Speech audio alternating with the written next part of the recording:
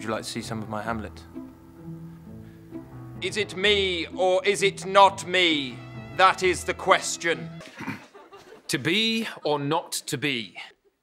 To be or not? Hey! Good. Very tense. You were in the moment.